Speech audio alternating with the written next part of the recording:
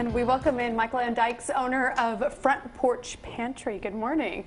Good morning. We were just talking about how sometimes the chicken, you know, the same old chicken dinner night after night can get a little dull.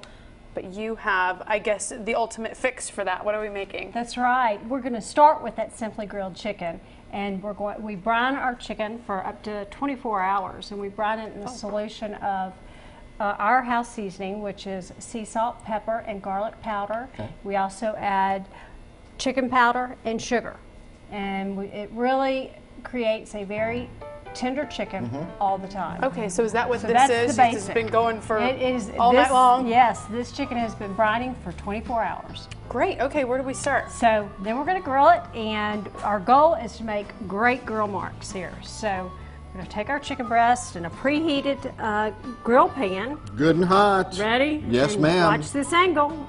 See, we can go like that. Then we'll have to go at that angle. Right. We're going to go this, and we're going to make uh, an exact T. Just like it came off the grill. Exactly. We're going to turn that baby up, and the pan is hot. It's been preheating.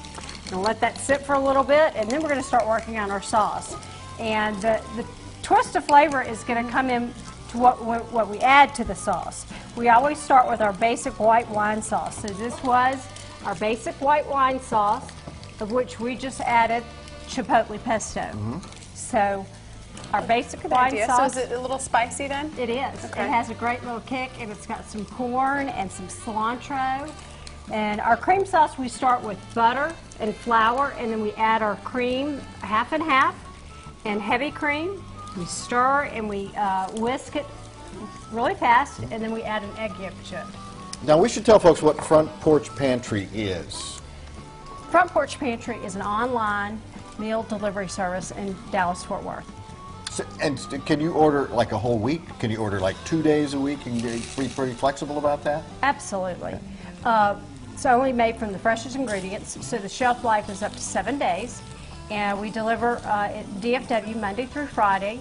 And our customers go online, select their home cooked meals, and, uh, And it gets delivered to their Front front, porch. porch. How That's about right. that? Perfect. that's right. So Okay. Okay, so our menu changes the weekly. And then, so this is sort of everything made up. Did you have to put the egg yolk in, or is that already in? The egg yolk is already in. Got it.